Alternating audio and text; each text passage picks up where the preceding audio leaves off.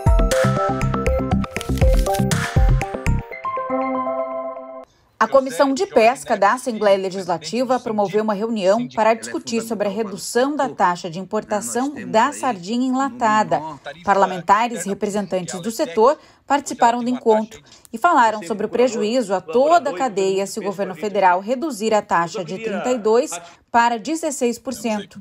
O presidente da Comissão de Pesca, deputado Felipe Estevão, disse que a medida pode ter um grande impacto negativo. Isso é praticamente um, uma certidão de óbito para, o, para a indústria, né? e ela tem, hoje, grande parte desse polo está aqui, em Itajaí, Vale do Itajaí, e eles têm abastecido, segundo algumas informações, 70% do mercado brasileiro e é exportado apenas, é importado, né, 20, 20% mas com essa taxa praticamente vem um produto de muito baixa qualidade, desvaloriza. Hoje, a sardinha enlatada faz parte da lista de exceções à tarifa externa comum, a LETEC.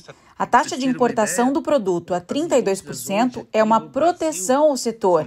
Por esse motivo, existe um movimento de lideranças da área pesqueira para que essa taxa seja mantida. A preocupação ela não está só na indústria, né? a questão da, da manutenção da sardinha em lata na LETEC, na lista, ela é fundamental para o setor. Né? Nós temos aí um número enorme de embarcações em traineiras que têm como finalidade principal a captura de sardinha. Esse é o, é o maior, é o, é o principal produto dessa, dessas embarcações. É, o setor todo fica comprometido. Nós temos aí toda a, a, o pessoal de captura, armadores, pescadores. São 20 mil empregos e tem um plano do Ministério da Economia e realmente o plano deles é, é muito forte e agora o Brasil assumiu a presidência do Mercosul e, te, e teve uma te, teve uma reunião e por sorte é, não foi consenso dentro do Mercosul baixar as tarifas da, da TEC. É toda uma cadeia que depende dessa da manutenção da sardinha na LETEC e que se, se mudar esse cenário, né, essa realidade, com certeza vai trazer bastante impacto para o nosso setor aqui.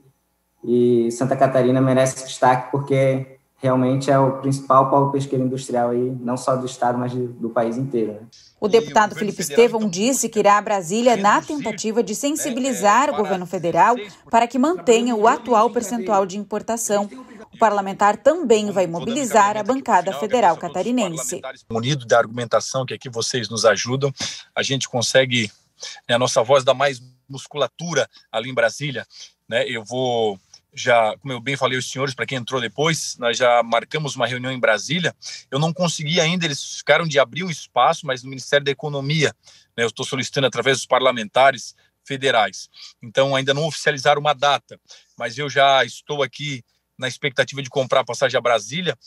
Assim que eles oficializar essa, essa reunião, né, quero estar lá. Quero também falar com o Fórum Parlamentar Catarinense para engrossar essa luta conosco. Eu acho que da musculatura nossa é uma pauta federal, né?